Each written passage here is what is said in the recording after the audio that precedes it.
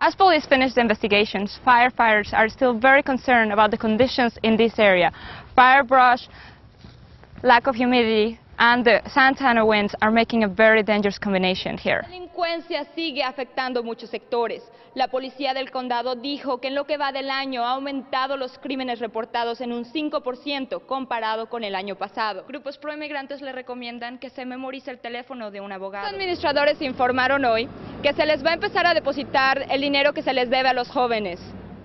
Parking on Parking Lot X will not only save you about 15 minutes trying to find parking, but it will also get rid of your excuse of not finding enough time to exercise. Also going to their website to do a job search, internship search, or even a fellowship search at careersdsu.edu. The problem, expert says, that this crossing not only affects you with the stress and the having to wait to get to, to work or to school, but it also creates a health problem. Washington, Fabiola Johnson, Univision.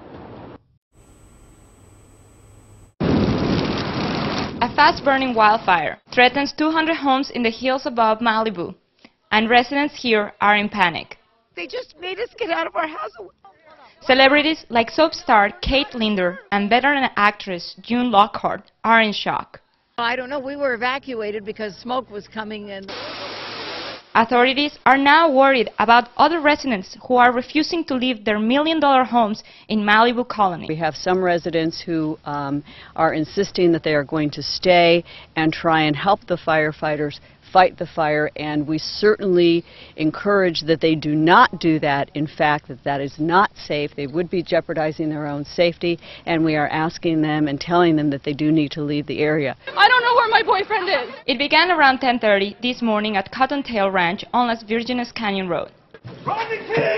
Investigators say these two suspects were in the process of manufacturing a large quantity of methamphetamines when their makeshift lab exploded, igniting the fire. I'll kill you! I'm gonna kill you! As police finish the investigations, firefighters are still very concerned about the conditions in this area. Fire brush, lack of humidity, and the Santa Ana winds are making a very dangerous combination here. And with the fire now only 20% contained, the danger here is far from over. In Malibu Canyon, Fabiola Berriozabal, Malibu News 12.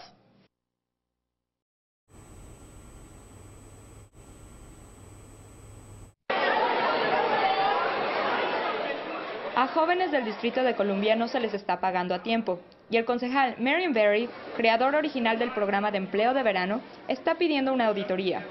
Mientras a miles de jóvenes se les está pagando de más, a otros no se les pagó, y esto se ha repetido todo el verano. La oficina del alcalde dijo que esto se debe a problemas con las computadoras en el Departamento de Empleo.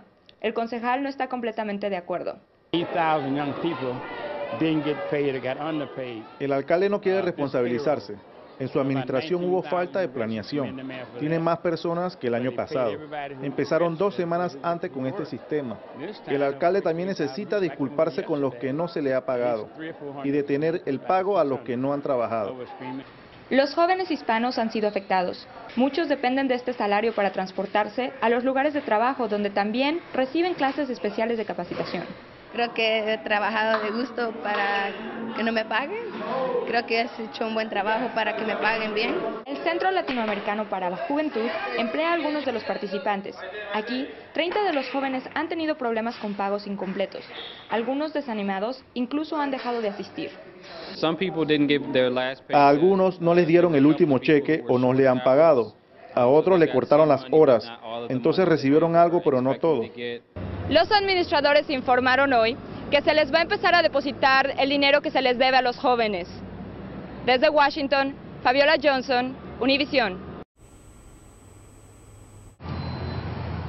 Exposure to traffic in general has been associated with cardiac effects, even uh, heart attacks from being exposed to heavy traffic. It's been associated with asthma, with chronic lung disease, and recently, which is very interesting, it's been associated with birth defects and low birth weight babies. Associate professor at the Graduate School of Public Health is working with researchers at the Universidad Autónoma de Baja California to monitor pollutants in the cars of students who commute. We're finding that um, the pollution level is high inside cars. Um, especially for particulate matter that's very, very small called ultrafine particulates. And the ultrafine particulates are elevated inside a car relative to being in a house. They're very high, but they're even higher while you're waiting at the border. Ariana crosses the border every day from Tijuana to go to school. Sometimes you can just get this huge smell of gas, you know, or like cars that are old that need to be fixed that aren't fixed and just, you know, polluting the air. She chooses to live in Tijuana despite the long waits because she couldn't afford living in San Diego. I had to have two jobs. I mean, I was working graveyard shift, Children's Hospital. Then I would come to school, wake up, do radio, then go back to work. The American Public Health Association recommends to turn on the AC, click on the recirculate button, and keep windows up to reduce risks.